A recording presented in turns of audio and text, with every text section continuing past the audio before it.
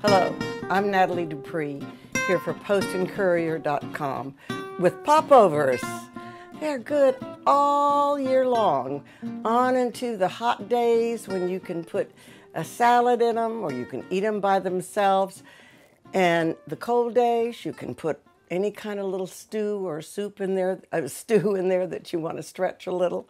So uh, I'm going to, while this is hot, I'm going to put my batter in there. This is the large one. I just want you to hear a little sizzle and see how far I fill it, which is about halfway full. And it depends on your popover pan. If you have the time, uh, what I'd like you to do is to cook just one and see how everything goes because our ovens are so variable. Now, to make the batter, I have flour, and I really think that it's important to have bread flour. So get yourself bread flour, some eggs, and you have the correct recipe, the whole recipe in the newspaper and online at postandcourier.com. Here's your eggs.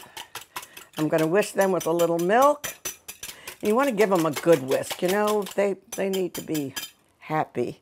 And then you add part milk, part water to your batter and then mix it with your flour.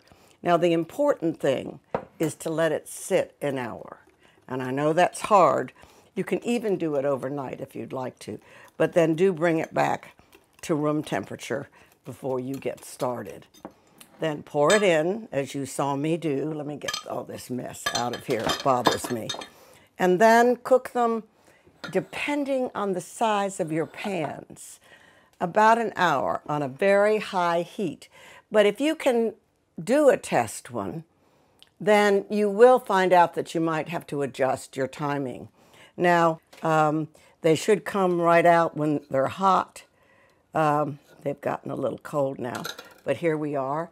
And then put them on when they're still piping hot into your basket and serve them. Do not worry if your popovers are not perfect. Popovers don't have to be perfect. They just have to taste good and be full. Be sure to cook them enough. No white should be on the sides of the popovers. No, no white like hmm, like in here. It should be all browner than that. And you want to cook them through. You can even poke one and see if it's still battery. If you have too high a heat in your oven, then turn it down or even turn it off and leave the popovers there just a little bit. I'm Nathalie Dupree here for postandcourier.com with wonderful, yummy popovers.